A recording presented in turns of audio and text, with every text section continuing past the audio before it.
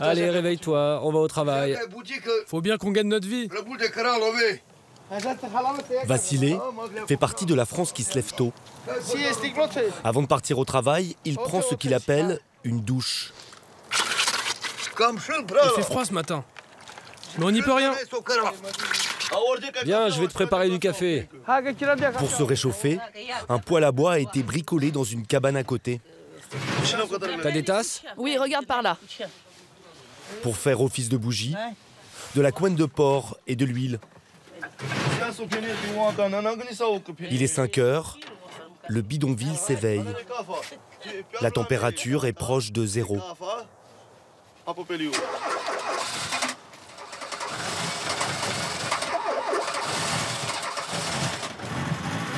Cette R25 hors d'âge est le seul moyen de transport pour ces Roms de nationalité roumaine. Ça, c'est la voiture pour aller travailler. C'est un don de Dieu, cette voiture. Dans la lumière des phares, des rats. Par dizaines. Ce matin-là, il roule pendant 25 km pour aller travailler dans des vignobles de la région bordelaise. Un contrat à la journée, payé au SMIC. Ces Roumains sont employés légalement, mais les propriétaires des vignes refuseront la présence de notre caméra. Ils ne souhaitent pas associer l'image des Roms à celle de leur grand cru. On y est. Leurs revenus trop irréguliers ne leur permettent pas d'habiter ailleurs que dans ce bidonville en périphérie de Bordeaux. Près d'une zone commerciale, 50 familles en tout occupent illégalement depuis un an et demi ce terrain. Il appartient à la SNCF, qui ferme les yeux pour l'instant. Pas d'électricité, pas d'eau. Pour se ravitailler, ces habitants doivent aller dans cet autre campement, à 3 km de là, le long de la rocade. On l'appelle le manoir, un parc privé délaissé par ses propriétaires. Aujourd'hui en France, il existe 570 bidonvilles sur tout le territoire. Cette eau, elle vient de la bouche d'incendie des pompiers. Mouresh, 52 ans, est venu prendre de l'eau grâce à ce tuyau. Le branchement est illégal, mais toléré par les autorités qui ont même installé un compteur et en verront bientôt des factures. Bon, maintenant, j'ai besoin de l'eau pendant deux heures. Hein. Ah si, il faut que je lave la voiture. Ne lave pas la voiture, moi j'ai besoin de l'eau. Un seul robinet pour plus de 200 personnes et une vieille camionnette sans contrôle technique ni assurance pour ramener le précieux liquide au grand bidonville. Ah, c'est lourd. Et je suis bien obligé d'aller chercher de l'eau. Là, on a de quoi tenir une semaine. Pour se laver, pour cuisiner et pour la douche. Mouresh a rejoint son fils aîné en France il y a un an. Il vit depuis dans cette cabane d'à peine 10 mètres carrés. Pardon Avec sa femme, Virginia, leurs deux enfants, Maria et Dragosh, Prends tes chaussons. et ses petits-enfants, Bianca, 12 ans, et Emmanuel, 5 ans. On a trois saucisses pour six personnes. Une vie de misère, rythmée par des prières. Bianca, on se met à genoux et on prie tous ensemble. Et Emmanuel, tu rigoles pas, hein.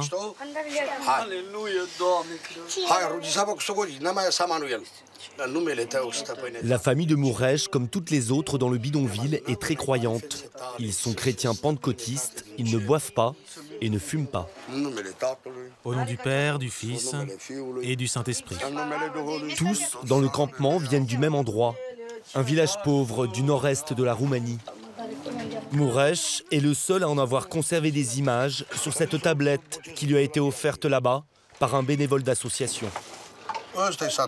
Ça, c'est mon village.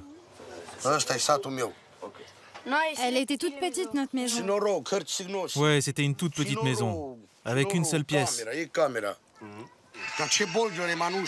Ça, c'est une fête de village, un baptême. C'est pas sale comme ici. C'est joli là-bas. Regarde. Virginia a le mal du pays. Mais en Roumanie, Muresh arrivait encore moins qu'ici à faire vivre sa famille. Il ne gagnait que 100 euros par mois en travaillant dans le recyclage de métaux. Depuis 2014, les Roumains peuvent venir travailler librement en France et espérer gagner un salaire en moyenne 5 fois plus élevé que chez eux. Même si les emplois sont souvent précaires, comme pour les travailleurs des vignes.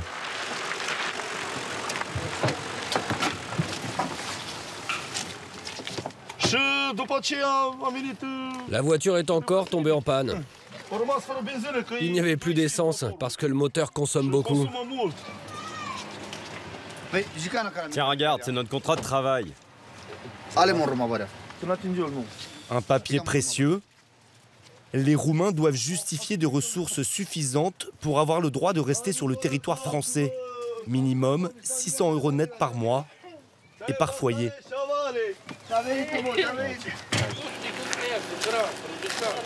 À la nuit tombée, les familles roms du bidonville ont leur rituel. Elles se rassemblent autour d'un grand feu pour se réchauffer. C'est aussi le coup d'envoi d'une activité illégale. À 18h pile, chaque soir, commence le balai des camionnettes. C'est l'heure de la ferraille. Nous, on veut pas mendier. On veut pas rester là à rien faire. On va chercher de la ferraille dans les déchetteries. On part en camion et grâce à la ferraille, on peut se faire 20 euros. Yon et son beau-fils, Georges, ne perdent pas de temps. La concurrence avec les autres ferrailleurs du bidonville est rude.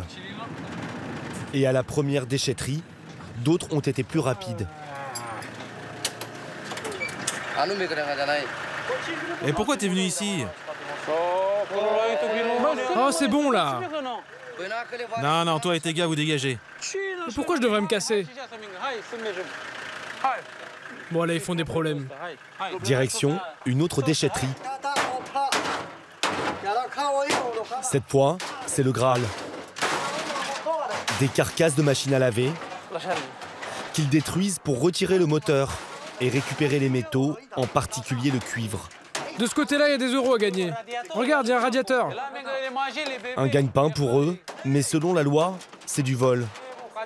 La peine encourue peut aller jusqu'à 5 ans de prison et 75 000 euros d'amende. Faut qu'on se dépêche avant que les flics arrivent. Pas le temps de démonter toutes les machines qu'on embarque directement dans la camionnette. Fais gaffe, ça peut exploser. Après trois heures de ferraille, les deux hommes rentrent au camp avec leur cargaison qu'il va falloir trier.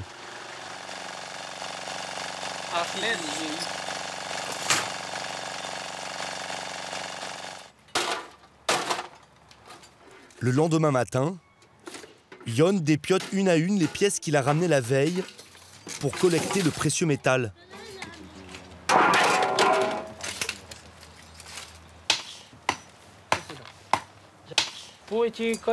Là, en gros, il doit y avoir 200 grammes de cuivre, plus les fils du moteur. Le cuivre se revend 4 euros le kilo. Ce métal doré est très prisé pour fabriquer des câbles électriques. Yon va y passer la matinée. Tout ce qu'il va pouvoir monnayer tient finalement dans un seau. 10 euros. Là, il y a 10 euros. C'est beaucoup ou pas? C'est pas beaucoup. Je me suis abîmé les mains pour rien. Yon et son gendre écouleront le tout à des gros ferrailleurs de la région qui ferment les yeux sur la provenance de leurs métaux. Et tout ce qui ne vaut rien reste sur place et s'accumule. Ces tas de déchets créent des tensions avec les voisins. À côté du camp où on se ravitaille en eau, un lotissement vient tout juste de sortir de terre.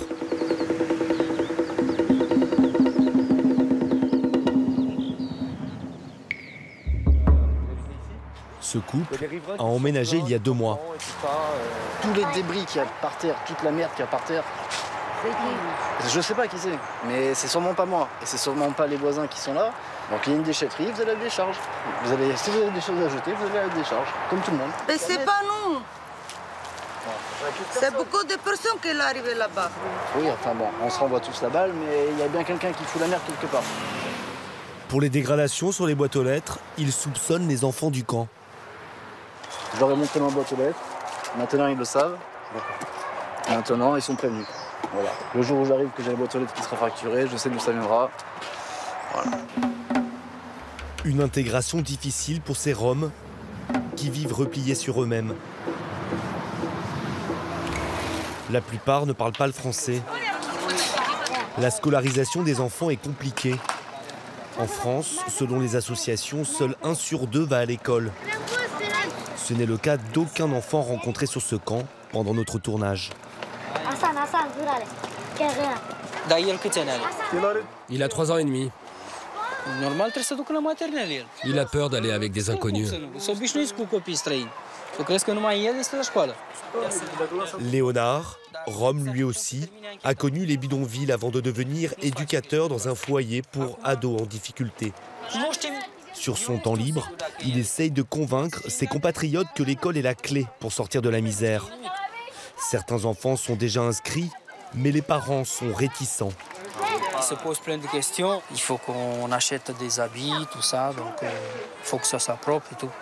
Et que ça, ici, euh, vu les conditions, peut-être, c'est un peu pas possible. Il y a eu des cas comme ça où l'enfant arrive à l'école et est rejeté euh, par les autres parce qu'il est. c'est pas l'institutrice, c'est plutôt les enfants, les collègues d'école qui font ça, mais. Ils font quoi? Qui disent ben, t'es sale, t'es rome, va à la manche, tout ça. Léonard a commencé à apprendre le français dès son arrivée en 2007. Sur le camp, il sert d'interprète pour tous les courriers administratifs que personne ne comprend ici.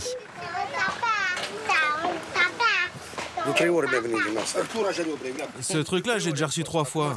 Qu'est-ce qu'ils me veulent encore Allocation familiale, indemnité chômage, sécurité sociale. Ces Roumains ont les mêmes droits que n'importe quel citoyen européen qui réside au moins trois mois d'affilée en France. Le problème du jour, une carte vitale qui n'est pas au bon nom de famille. Et moi, qu'est-ce que je fais avec cette carte? Il faut que je la change? Et Valenciano Et moi, je m'appelle Stanescu. Oui, c'est Stanescu. C'est lui.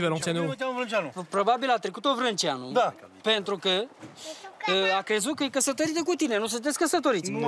Au lieu de y aller là-bas et de prendre la tête des gens là-bas, il préfère me prendre à moi la. Et pour savoir si des aides leur ont été versées, ils doivent se rendre au centre commercial à deux minutes de chez eux, mais à des années-lumière de leur quotidien. Bien sûr que si, mais on n'a pas d'argent. Qu'est-ce que tu veux faire?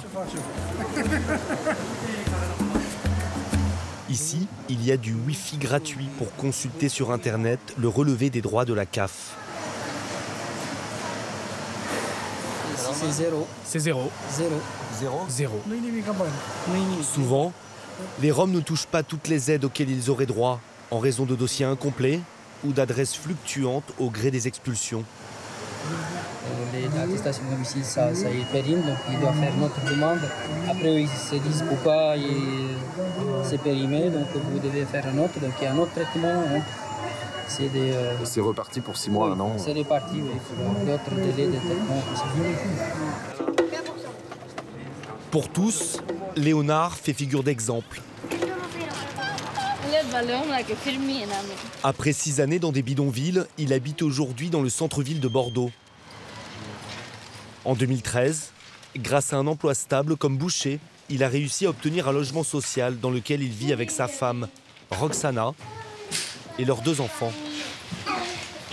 Un 50 mètres carrés avec tous ces petits luxes oubliés pendant les années bidonvilles. C'est les toilettes et ici c'est la salle de bain comme l'électricité et l'eau courante. La première facture, c'était 500 euros. Pour un mois Pour un mois, oui. Mais euh, c'était en fait quand on sort de bidonville et qu'on va dans un appart, suivant, on fait, on demande à ceux qui sont sous l'escouade de venir se laver, pour dépanner, tout ça. Après, euh, le souci, c'est que ça, tombe les factures sur la personne qui, qui amène les gens. Du coup, euh, on a arrêté de faire ça.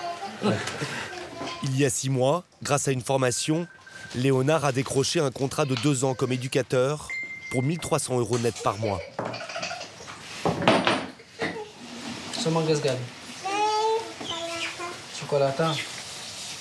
Parfaitement intégré, lui et sa famille ont trouvé une nouvelle stabilité. Les parents ne stressent plus, les, parents, les enfants non plus.